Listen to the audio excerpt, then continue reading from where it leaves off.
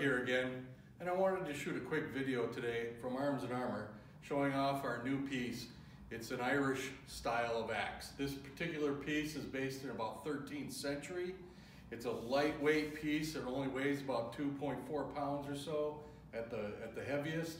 It has a nice ash haft and is a really great feeling piece in the hand. Very quick, very movable, uh, really flies when you have it in the hands. The haft's running about 52 inches long, so it's got some real reach for it.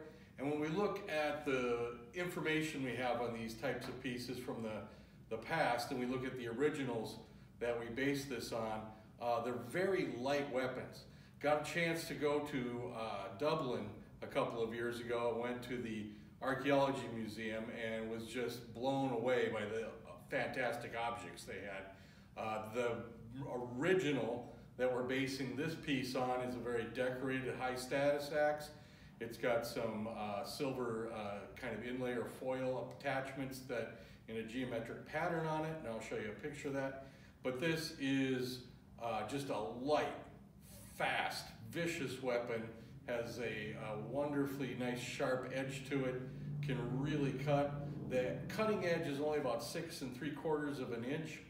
Um, and you can kind of recognize the shape. A lot of people would think of this as being a kind of a Gallowglass, what they would call axe. Uh, those probably had a tendency to be larger than this. Uh, but this particular one is very much, uh, like I said, based on the original. So it's got a very thin uh, cross section, but a very, very agile weapon. Uh, when it's on the haft like this, uh, we have some references. Uh, Gerald of Wales, in his description, his topography of Ireland, discusses how the, the uh, Irish would fight one-handed with these and swing them with great effect, cleaving into people's helmets and mail shirts and uh, creating havoc all about them. Also, he discusses uh, the quickness of the weapon in a sense that you don't have to draw it from a sheath or pull a bow or anything.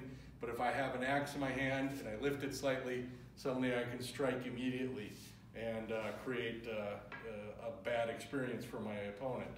Um, he also attributes some of that to the nature of the Irish, but we won't get into that today, me being Irish as it were. So, uh, great piece, excellent uh, for moving through time and space, uh, really fast, great cutter. Uh, we're looking forward to having this in our line.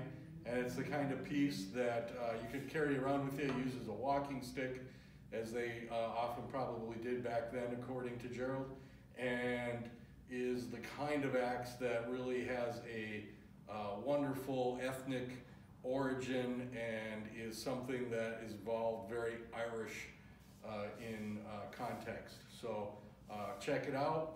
Uh, look at the website, look at the page, and check the blog post out. I'll have some more info there for you. And uh, if you're looking for a new axe, this might be the one.